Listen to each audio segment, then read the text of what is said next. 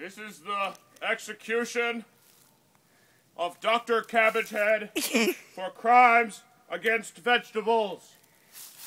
Do you have anything to say, Professor Cabbagehead? Oh, yes, I do. What is that? I love the world. I love cabbage. I love cabbage.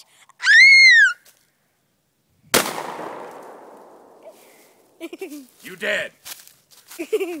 and that was the end.